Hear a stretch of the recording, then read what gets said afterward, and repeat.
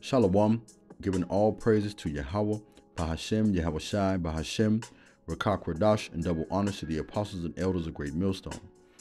What we have on the screen here, brothers, is a constant reminder of why America, Babylon the Great, Sodom and Gomorrah, aka Egypt, has to be destroyed, and its destiny is to be burned with sulfur and fire.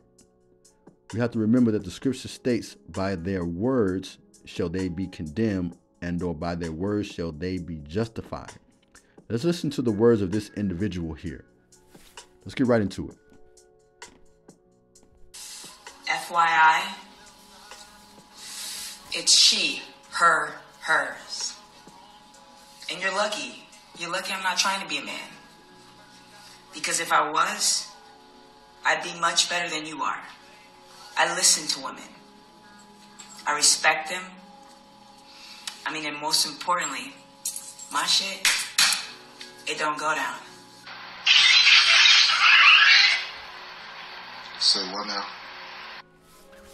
Even the next precepts that automatically came to mind, we have to remember in the book of Romans, it tells us, I believe three times in that first chapter, for the Lord gave them up. The Lord will give up on you. The scripture goes on to say to defiling pleasures. For women have relations with women. You got to understand that's a defiling pleasure, man. And this is why this place is doomed to be burned because it's full of wickedness, it's full of debauchery, right? It's full of self aggrandizement, man. How do we know?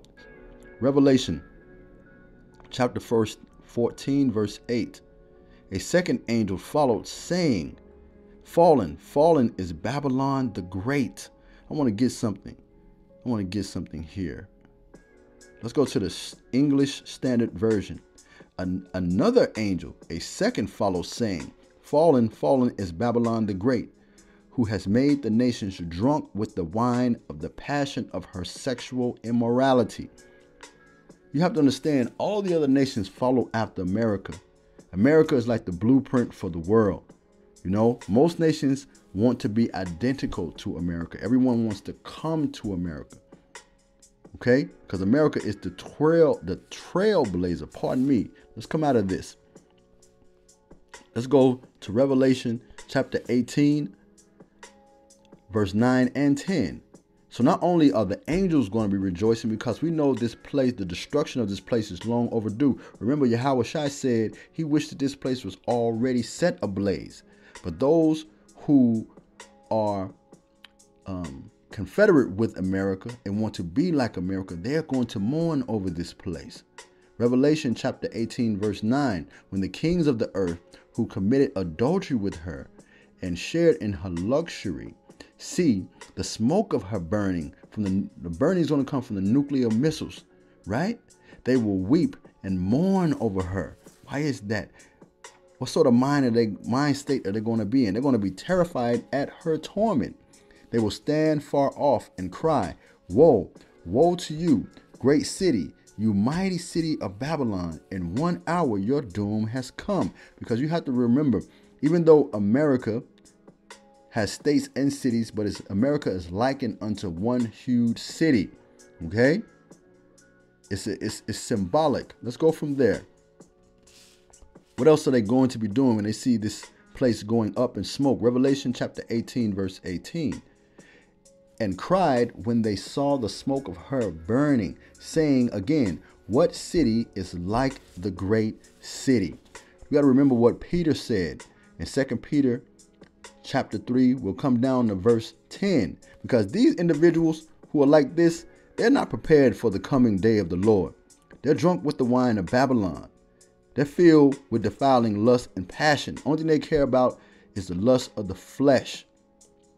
Revel, pardon me, 2 Peter chapter 3, verse 10. But the day of the Lord will come like a thief. These people are going to be completely unaware. The heavens will disappear with the roar. The elements will be destroyed by fire. What kind of fire? Nuclear war fire. Okay? The earth and everything done in it will be laid bare. Verse 11 Since everything will be destroyed in this way, what kind of people are you ought to be? To the elect, what kind of people are we ought to be? To the hopeful elect. You ought to be, you ought to live holy and godly lives as you look forward. We look forward to this. As you look forward to the day of Yahweh and speed its coming. We want this day to come. We want this place to be destroyed. Let me continue where I left off at. That day will bring about the destruction of the heavens by fire, and the elements will melt in the heat. Man, it's like you want to see this occur. You want to see this happen because you understand that this place is defiled. Okay?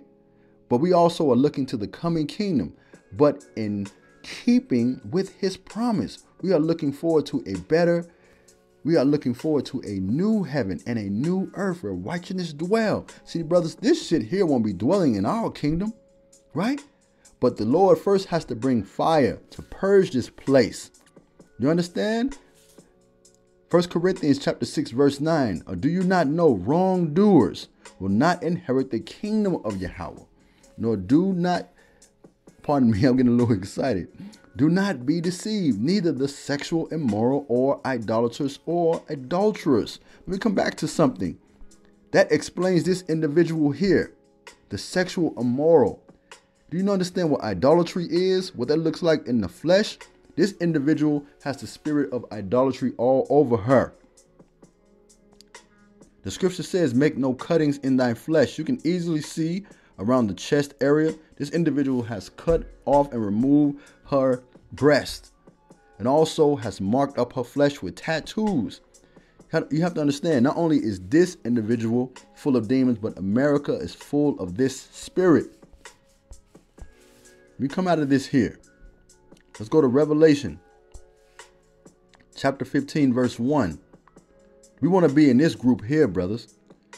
I saw in heaven another great and marvelous sign seven angels with seven last plagues.